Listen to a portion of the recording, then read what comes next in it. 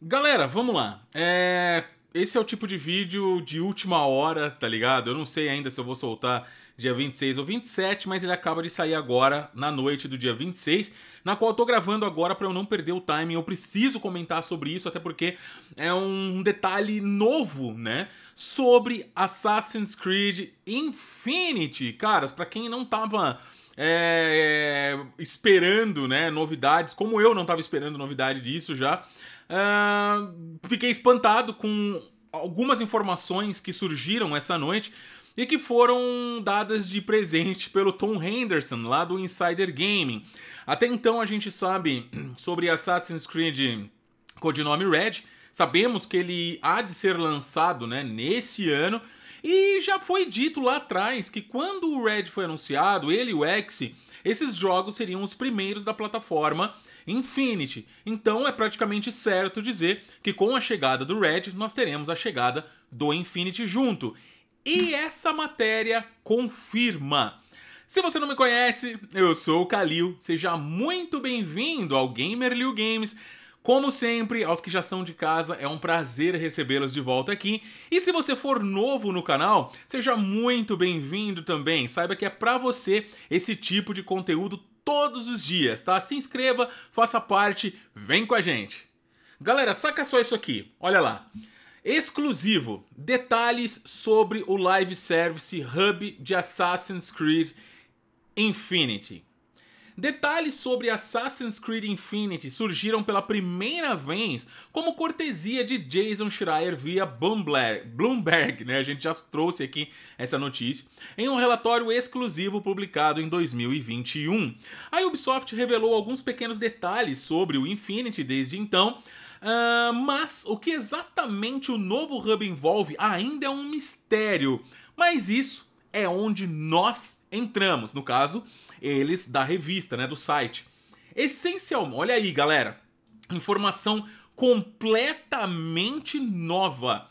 Essencialmente, Assassin's Creed Infinity será o centro da franquia a partir do qual serão lançados jogos como Red, X e Invictus. A filmagem de demonstração fornecida ao Insider Gaming sobre a. Olha aí, mano. Galera, olha isso. Esses caras, o Tom Henderson, eles conseguiram um B-roll, ou seja, um vídeo do Assassin's Creed Infinity, de como ele funciona. Mano, vamos lá. A filmagem de demonstração fornecida ao Insider Gaming, sob a condição de que a filmagem não se torne pública, mostra o usuário indo do Hub Infinity para Assassin's Creed Red em apenas alguns segundos, continuando de onde ele parou. Em vez de ter que inicializar os jogos, são iniciados individualmente após voltar pro hub. Ai, ai, ai, ai, ai. Caraca, mano. Velho, que louco. Olha aí. já vai vazar logo.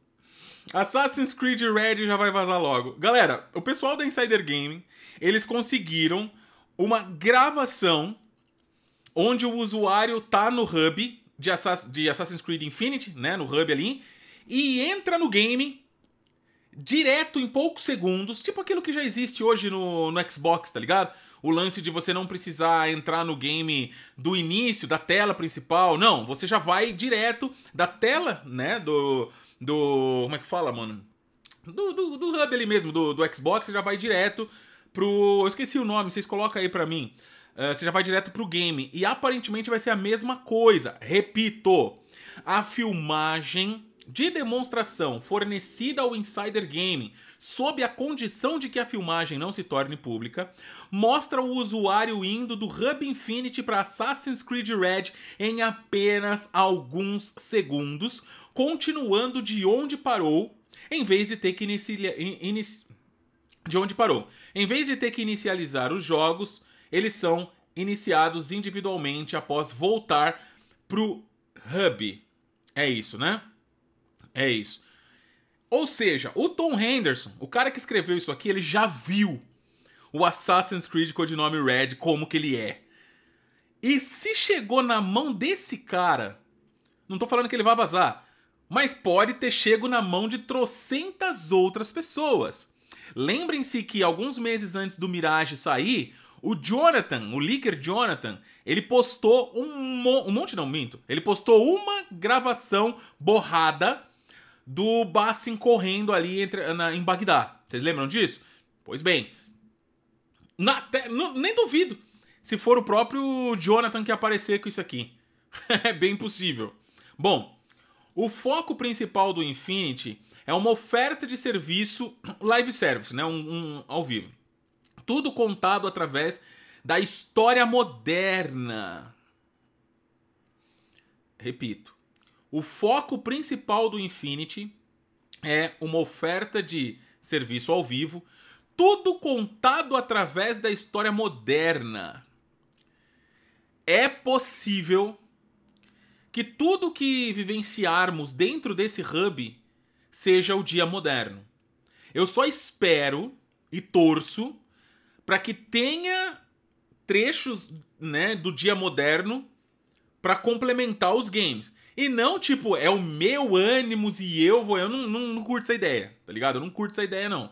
Eu curto mais a ideia de ter uma história do dia moderno, onde a gente vai entrando aí para poder ver os jogos no passado por algum motivo que eles vão explicar.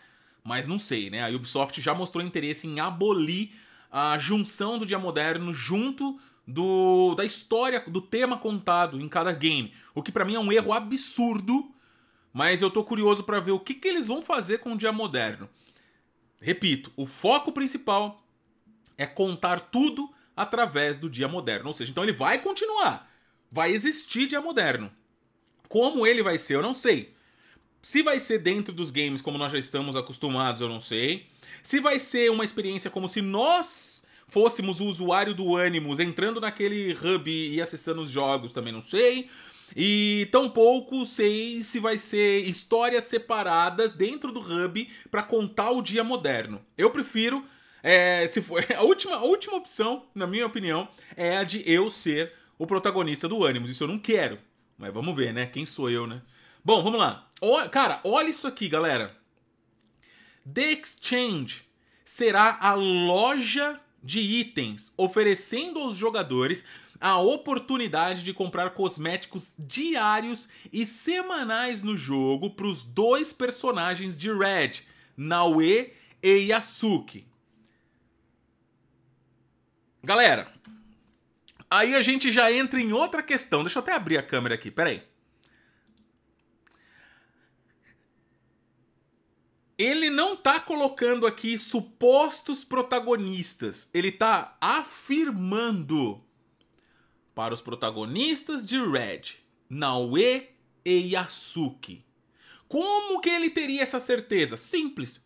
Se ele entrou mesmo e teve acesso ao The Exchange, que é a lojinha de cosmético, lá vai estar tá mostrando os itens para um e para outro e o nome de cada um. Itens para Yasuki itens para Naue. Não vou dizer que esse cara tá confirmando, mas ele tá confirmando que é, é o Yasuki mesmo. Você pensa que é diferente? Comenta aí. Ele já disse com todas as palavras que ele teve acesso a um B-roll mostrando Unity e o Red. E se ele tá dando detalhes do Unity, como a loja do game, a maneira com que isso vai funcionar, ele realmente viu isso aí. E aqui, repito, ele não tá dizendo supostos dois protagonistas rumorizados. Aqui o cara tá dizendo para os dois protagonistas de Red, Naue e Yasuki. Eu tenho que estar tá confirmado isso aí.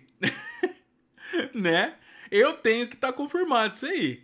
Bom, Além do, do The Exchange, o Infinity também possui um recurso de sincronização que permite o jogador acessar projetos de cada protagonista.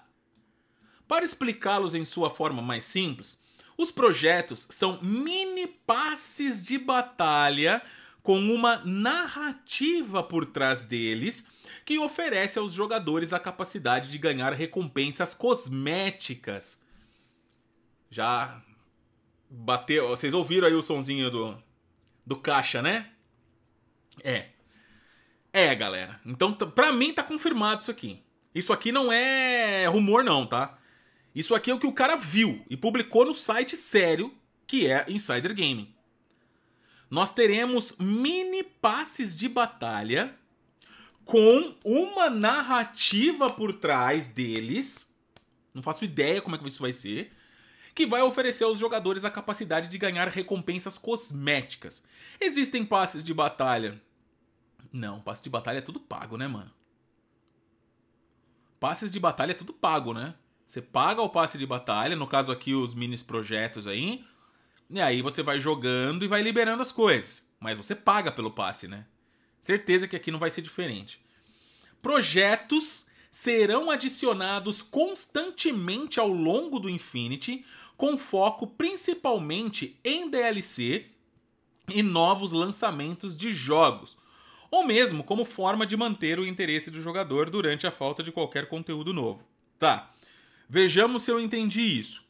O que eles chamam de projeto pode ser desde um passe para ganhar um monte de cosmético dentro do game, o que eu vou estar tá muito tentado com essa desgraça, essa prática desgraçada, mas me pega. É... Até né? Desde esse tipo de coisa até DLCs. Então tudo vai ser chamado de projetos. Não faço ideia como isso vai ser, beleza?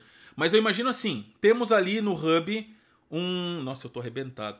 Eu tenho, tenho ali no hub o Assassin's Creed um, Red, beleza? E ao lado dele tem vários projetos. E esses projetos são coisas que complementam o jogo principal. Desde essa, essas uh, mini histórias, né? Justificando esses cosméticos que estão chegando. O que teoricamente é inteligente, né? Você não vai só jogar um cosmético lá pro cara comprar. Se o cara comprar, ele vai ter uma história, talvez algo para se fazer dentro do game. Não faço ideia. É como eu tô entendendo, interpretando isso aqui. Se você achar que é diferente, comenta aí. E DLCs que você vai ter do jogo para ir complementando também tudo talvez, né, tenha aí esse nome de projetos. Bom, Entende-se que a estratégia atual da Ubisoft com Infinity é lançar um jogo principal a cada dois anos, com experiências menores entre eles. Red ele vai estar tá chegando para o final deste ano com Invictus, um, um co-op, né, um jogo de multijogador, para 2025 e Exe para 2026. Me parece que nós teremos sim, de novo, um Assassin's Creed por ano. Inclusive, isso já saiu como notícia esses dias atrás. Eu estava viajando, eu não tive como fazer vídeo, mas eu vou fazer para estar tá trazendo para vocês essa informação. Mas é, é, se eu não tiver enganado, se eu não li errado, já é quase que oficial. A Ubisoft queria um Assassin's por dia, por, por dia, por ano, né? Começando esse ano com o Red, e, a, e aí vai, né? com o. Olha aqui, ó. O último título escrito como sendo o, o X, né? O jogo Assassin's Creed mais sombrio de todos os tempos. Mano. Hype. Terá uma protagonista feminina principal que atualmente é chamada de Elsa. Pela primeira vez desde Assassin's Creed Chronicles China. O quê? Primeira vez o quê? Uma protagonista feminina principal desde de China? Pô, comeu bola aqui, hein? Tem Cassandra, tem Eivor. Não sei se é isso que ele quis dizer, mas enfim. Isso aqui eu não sabia. Esse lance da Elsa. Aparentemente, então, vai ser uma protagonista feminina e que internamente já está sendo chamada de Elsa. Olha quanta informação esse cara tá trazendo, velho. E eu confio nas informações que o Tom Henderson traz, galera, porque as fontes dele são muito quentes e o site é muito sério. Ele não viria aqui falar, ah, eu vi tal coisa, e aí mais tarde ser totalmente diferente do que ele falar, e aí, não, não, não, não. O Tom Henderson não.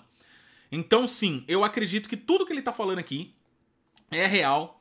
Esse cara realmente viu Assassin's Creed codinome Red, usando o Exe, o, usando, nossa, mano, usando o, o Assassin's Creed Infinity, tá ligado? E se eu não tiver enganado, galera, pode ser que esse material que chegou nas mãos dele de maneira vazada tenha sido o material oficial que aconteceu, que foi mostrado em São Paulo, dia 22. É, você não sabia? Eu também não sabia. Fiquei sabendo hoje através de uma, de uma marcação que fizeram. Quer ver, ó? Ó, deixa eu mostrar para vocês.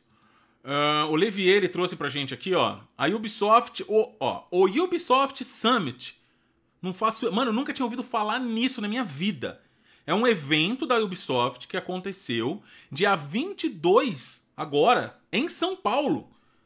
E a gerente de parcerias globais, a Bruna Soares, apresentou nesse evento todo o trabalho realizado até o momento e as novidades para esse ano e para o próximo, apresentando Assassin's Creed Codinome Red.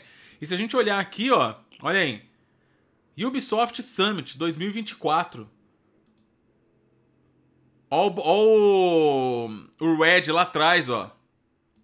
Num pôster. Olha aqui, Red de novo.